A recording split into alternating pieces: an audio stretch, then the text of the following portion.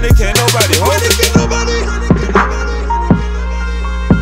We winning, yeah. We winning, yeah. on this channel. I'm gonna jump right to business right here. This is one we actually forgot to do, but I had to talk about it, being as though I've been following this damn near half of my life since the early 2000s when this was beef was going on, man.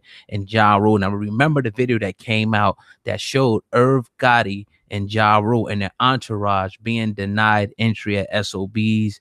Irv Gotti went on Power 99 and explained pretty much that the reality show that he was working with set it all up and everything. Well, 50 Cent always goes in. He does his thing on Instagram all day long. He immediately started. Matter of fact, that's how I actually seen the whole altercation first.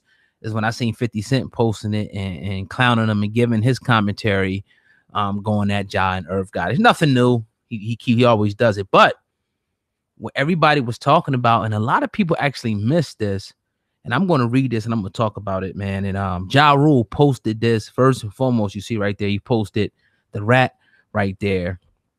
But when you scroll right past that, you'll see, and everybody's saying that this is allegedly proof, proof that 50 Cent snitch. Now you see it right there on the screen, and I, of course, um, we're gonna names are gonna be redacted out of there. I don't want people to, um, you know, anybody's name, but we can see Ja Rule's putting this up as proof, and it says report of investigation.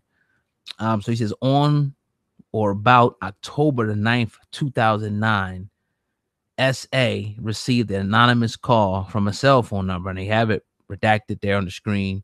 The number, the caller stated that we should investigate Jimmy Henchman in regards to the homicide. You remember Lodi Mack, Jimmy Henchman. If y'all don't remember that story, go on YouTube. There's plenty of videos about all of that. Now he says after further investigation, it was discovered that the phone used to place the, anon- the anonymous tip was they're saying 50 Cent allegedly. This is according to Ja Rule. Our website out hiphopun.com and you can see um the whole thing and read it for yourself. So Ja Rule posts this up in front of the world and he asks the people, he writes a caption right under. He says, Curtis, is that you?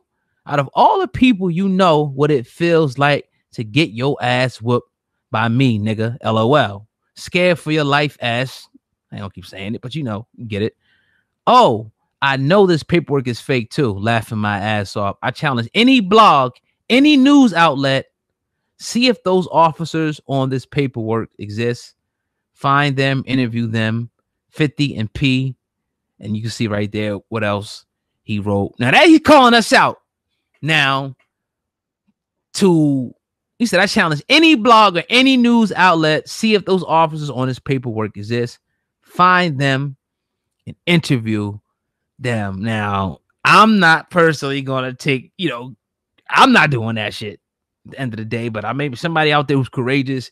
I really don't want no, you know, contact and really be dealing with police officers like that, especially the NYC police officers. But that's a whole nother topic, a whole nother podcast right there. But I mean, these dudes have been going back and forth now. Again, that's why Ja Rule had to put it out there and say, I know this paperwork is fake too, because that's been the whole thing. People are saying, no, it's no way this is real.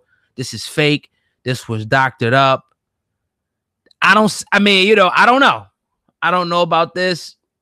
I know what was funny was the fact that I think we talked about this maybe a couple months ago or even sooner, when the FBI actually put out a statement and pretty much all but cleared 50 Cent's name, said that look, he never, you know, uh, uh, um, gave up any ma- information because that was like the common theme that Murder Inc. was running with, and it's still run with to this day, especially Irv, especially Ja.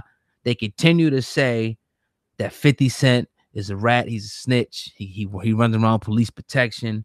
But this is pretty deep. This is pretty deep. And again, this is alleged, but Ja Rule posted what he is saying is undisputable proof, undisputable proof that 50 Cent called the police, called the police and told them that they should investigate Jimmy Henchman in regards to the homicide of Lodi Mack. This is what this paperwork says.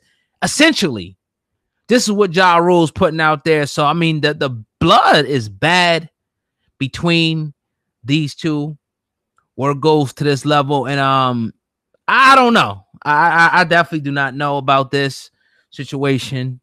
Um, I one thing I do know is that I came up when these guys were just coming into the game, and I can remember this this beef and these two brothers going back and forth like the back of my damn hand, and it, it just wasn't pretty. But for all these years, a decade plus later, for them still to be going out, them still dropping paperwork and stuff, alleged paperwork on each other, calling each other rats and this, that, and the third, and to see it come out, you know. But again, people have always defended 50 Cent. I read a lot of the comments when it comes to 50 Cent and people calling him a rat or a snitch.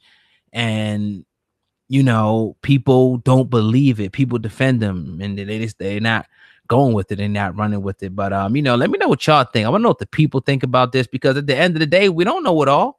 But you have some people out there who may be more privy to the situation, and they always drop little hints and drop little comments and stuff and say, "Nah, this ain't true because of this." And you just read it and you take it for what you take it for, and just kind of form your own opinion off of that. But I thought that was crazy. I don't know how we missed talking about this story yesterday. I guess it's because throughout the year, you could see 50 Cent and Ja Rule headlines like at least 30 to 40 times throughout the year. And a lot of times it's, you know, a lot of frivolous bullshit. But in this case, in this instance, it looks like Ja Rule tried to put 50 Cent on blast and pretty much said, look, 50, here's paperwork that 50 told the police they need to investigate Jimmy Henchman for Lodi Mack's murder. This is what the dude said. So take it how you want to take it. If you believe it, I don't know. Whatever, you know what I'm saying? But this your boy, Oh God Hip Hop Uncensored. You already know how we do. I appreciate each and every person. You know what I mean? If you're looking for the full podcast, we always get a lot of people asking for that. It's right down in the description box. Shout out to the Digital Soapbox Network, man. And also, um, if you can, if you got time, please download the radio.com app. Download the radio com app and you can listen to a lot of other great podcasts but we're exclusively on the digital soapbox next network on on the radio.com app real dope app and everything and i implore you to definitely do that you know um if you like to listen to podcasts and whatnot um because it's the new wave it's the new wave and we definitely love what we do we'll be back in the studio this week grinding and getting it in and whatnot but what that being said let me see what else is popping off today that i missed whatnot. Let me see what else is popping off. I was listening to I was swimming earlier and I was listening to Nas's um new album. I ain't hear a lot of it. It's okay so far. I mean, I'm gonna give it some time to kind of really digest it and um you know go from there. I see Blueface trial, um the G-Eazy. Okay, so it's not much. We're gonna get it in though, man. Just wanted to talk about this you know, um, real quick.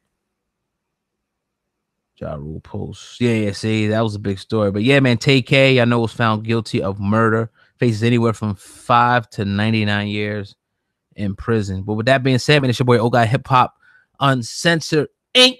Getting it in over here. We appreciate each and every person that listens to what we do.